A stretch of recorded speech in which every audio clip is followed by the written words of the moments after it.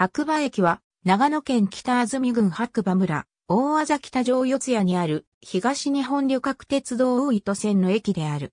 駅番号は、13。事務官コードは51万628。なお、かつては長野市の南長野駅東駅間を結ぶ予定であった全光寺白馬電鉄線の計画が存在した。単式ホーム一面一線と島式ホーム一面二線、二面三線のホームを持つ地上駅。互いのホームは古線橋で連絡している。かつては3番線の外側に電化された留置線が一線存在したが2005年に撤去された。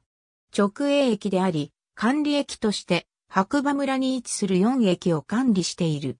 話せる指定席券売機、自動券売機が設置されている。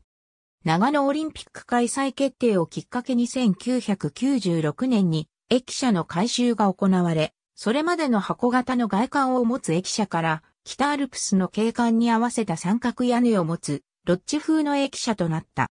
また、駅舎の2階部分には改修前より登山客向けの簡易宿泊施設エステルが営業しており、改修後は JR 東日本ホテルズの長期滞在型ホテルフォルクローロ白馬としてリニューアルされたが、2006年9月30日をもって営業を終了した。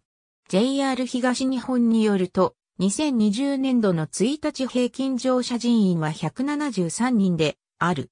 2000年度以降の推移は以下の通りである。白馬村の市街地の東端に位置し、周辺には図書館や役場などの公共施設、商店やホテルが駅周辺に集積、点在している。駅前ロータリーアルピコ交通の路線が駅前ロータリーから発着している。白馬新宿線はアルピコ交通白馬営業所に発着する。駅名は計画当時の駅名報道発表資料新聞記事品の四谷駅に関するカテゴリー。ありがとうございます。